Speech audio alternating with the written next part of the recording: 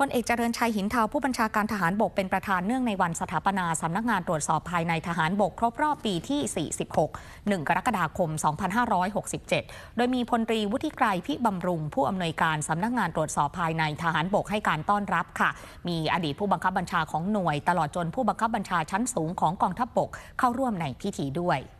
ซึ่งในโอกาสนี้นะคะคุณทวินันคงครานรองผู้อำนวยการใหญ่ด้านการสื่อสารและภาพลักษณ์องค์กร สถานีวิทยุโทรทัศน์กองทัพบก ได้เดินทางไปร่วมแสดงความยินดี มอบเงินสมทบทุนเพื่อเป็นสวัสดิการแก่ข้าราชการชั้นผู้น้อยและครอบครัว เนื่องในโอกาสวันสถาปนาสำนักงานตรวจสอบภายในทหารบกครบรอบปีที่ 46 อีกด้วยค่ะ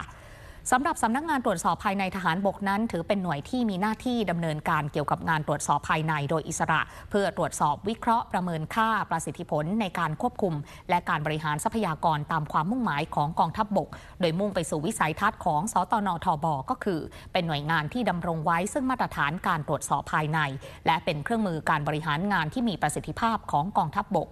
ดยในปี 2567 นั้น สตนทบ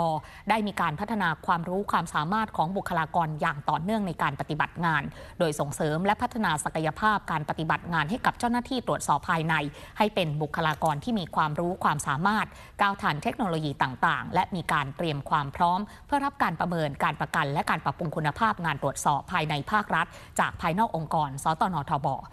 ดังนั้นนะคะ หน่วยงานนี้จึงเป็นหน่วยงานตรวจสอบภายในภาครัฐ ของกองทัพบกก็จะเข้าร่วมรับการประเมินการประกัน และการปรับปรุงคุณภาพงานตรวจสอบภายในภาครัฐจากกรมบัญชีกลาง ในปีงบประมาณ